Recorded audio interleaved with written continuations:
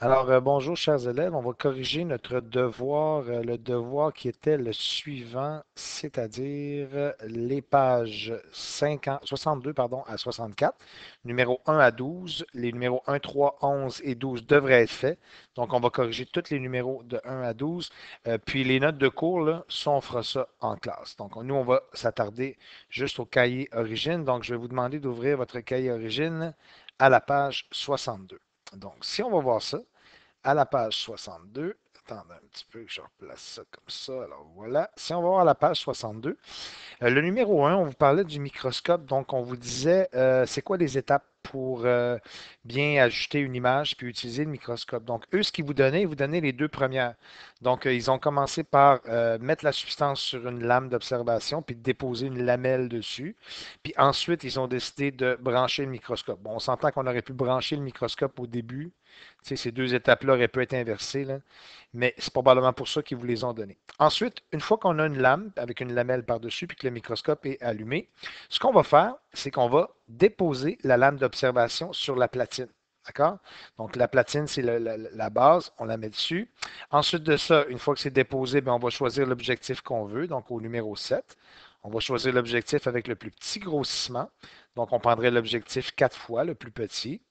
Puis là, euh, ben, on, utiliserait l'objectif, puis on ajusterait nos affaires. Donc, on, ça va nous permettre de l'observer euh, le plus gros en partant.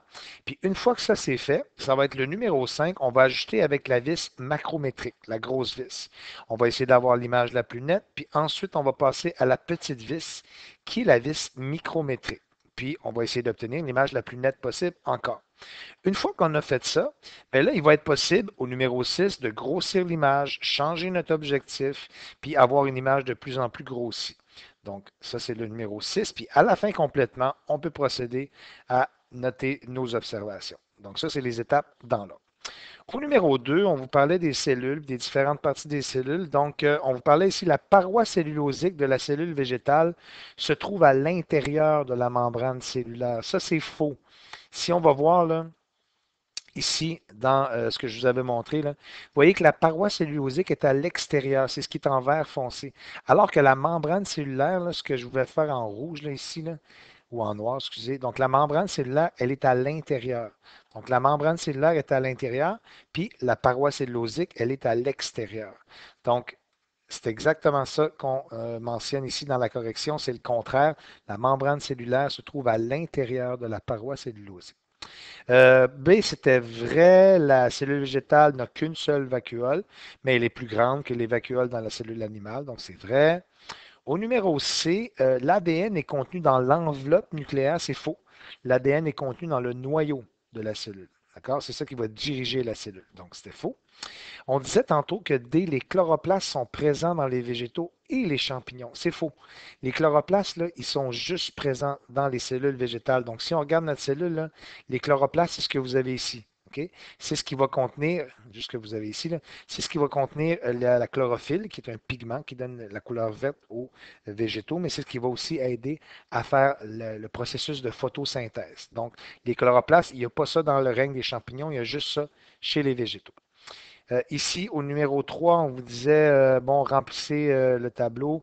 Bien évidemment, le grossissement de l'oculaire, ça, on en a parlé en classe, le grossissement de l'oculaire, c'est toujours 10 fois.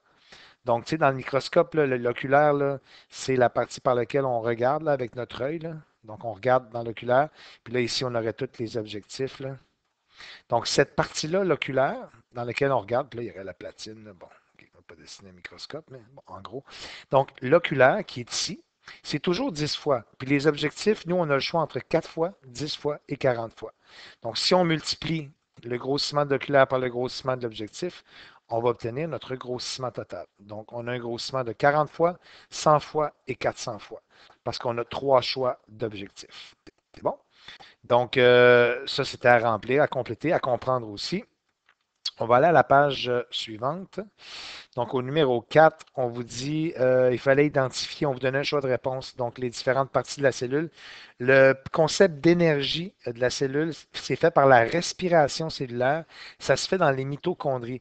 Ça, là, on avait vu ça ensemble en classe, je vous avais parlé de deux réactions chimiques. Vous voyez à gauche, là, j'ai la réaction de photosynthèse qui se passe dans la cellule végétale, dans les chloroplastes. Mais pour la respiration cellulaire, c'est une autre réaction chimique qui a lieu dans la cellule animale. Ça a aussi lieu dans la cellule végétale, mais moi, je vous l'explique par rapport à la cellule animale. Ça a lieu dans les mitochondries. Puis dans les mitochondries, euh, il va se produire un processus par lequel l'oxygène est absorbé et il y a une libération de O2, mais tout ça va donner de l'énergie à nos cellules. C'est comme ça que nos cellules se procurent de l'énergie, font une réaction chimique. Et ça, ça se fait dans les mitochondries. Donc, c'est pour ça qu'ici, quand on parlait du numéro A, on vous disait assure l'apport en énergie de la cellule par la respiration cellulaire. C'est les mitochondries qui font ça. Euh, diriger toutes les activités, c'est le noyau.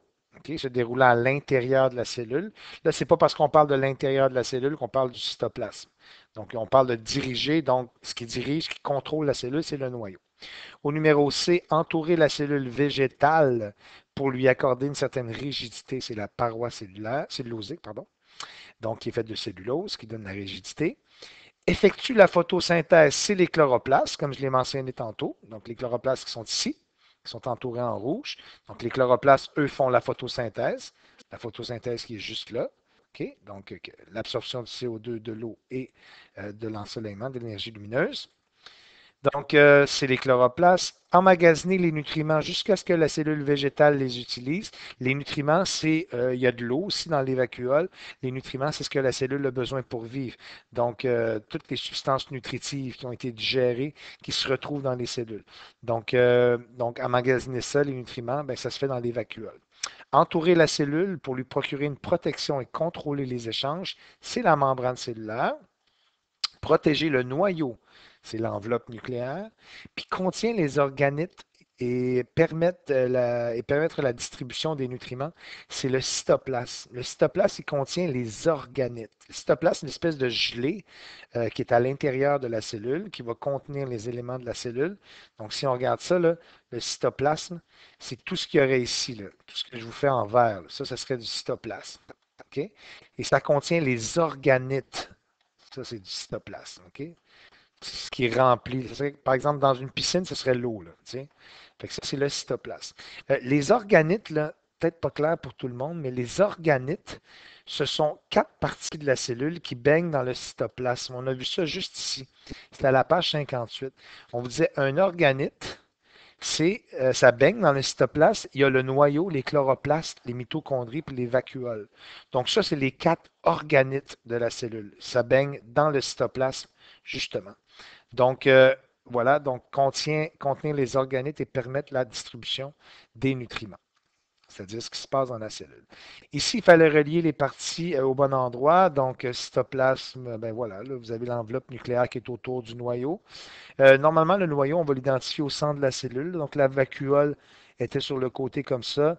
Probablement une cellule, voyez ici, probablement une cellule qui est animale. Vous voyez, on le nomme. Effectivement, c'est une cellule qui est animale parce que sa forme est plutôt ronde. Alors que si on regarde les parties de la cellule d'après, on dit que c'est une cellule végétale, mais voyez, il y a comme une forme un peu géométrique, une forme un peu carrée. Donc, on est capable de reconnaître ici que c'est une cellule végétale à sa forme et à sa grande vacuole. La vacuole est super grande. Alors que le noyau est là, l'enveloppe nucléaire, le cytoplasme, les mitochondries, la membrane cellulaire qui est à l'intérieur, puis la paroi cellulosique qui est à l'extérieur, les chloroplastes qui font la photosynthèse, etc., etc. Donc, ça, c'était le numéro 6. Ensuite, on va aller au numéro 7. On vous dit explique dans tes mots c'est quoi les organites de la cellule, puis nomme trois organites. Bien, c'est pas compliqué, je viens de le mentionner ici. Ça, c'est à la page 58.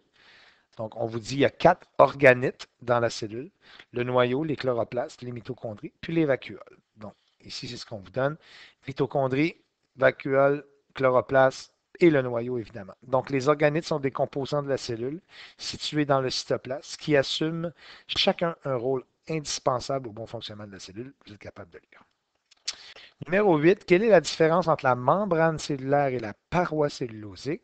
Donc, la paroi cellulosique, comme on l'a dit tantôt, ici, la paroi cellulosique, elle donne la rigidité à la cellule. Elle contient de la cellulose. La cellulose, c'est une molécule qui, donne qui durcit euh, l'extérieur de la cellule. Euh, alors que la membrane cellulaire, euh, ben, ça se trouve autant dans la cellule végétale que la cellule, animale. Donc, ça entoure la cellule, encore une fois. Quelles sont les principales différences entre la cellule animale et végétale? Bien, la cellule végétale va contenir une paroi cellulosée, des chloroplastes, puis une seule grande vacuole. Donc, vous avez ça ici, juste ici, dans mon dessin de cellule. Voilà, juste ici.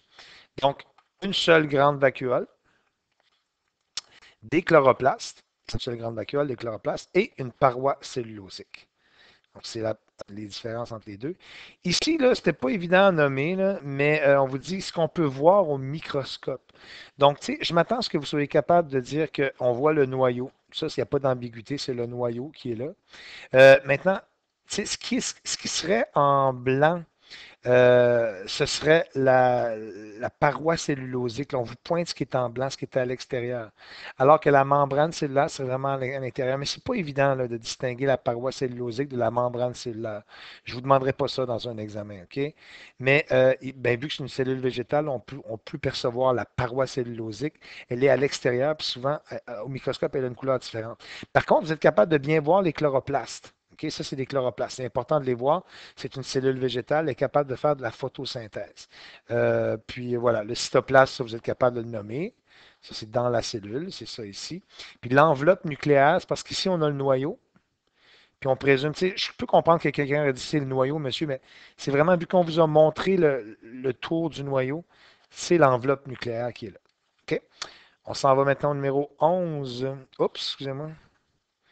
Euh, numéro 11? Juste ici. Donc, quelle est la partie mobile du microscope qui peut monter et descendre? Ça s'appelle la platine. Et on vous dit la différence entre un oculaire et un objectif. Ben, les, deux, sont des lentilles optiques qui permettent un grossissement, mais on appuie toujours les yeux sur l'oculaire. Donc, comme quand j'allais dessiner tantôt, l'oculaire, c'est la partie euh, par laquelle on va regarder avec notre œil. Puis ça, ça grossit toujours de 10 fois. Euh, voilà pour ça. OK? Merci.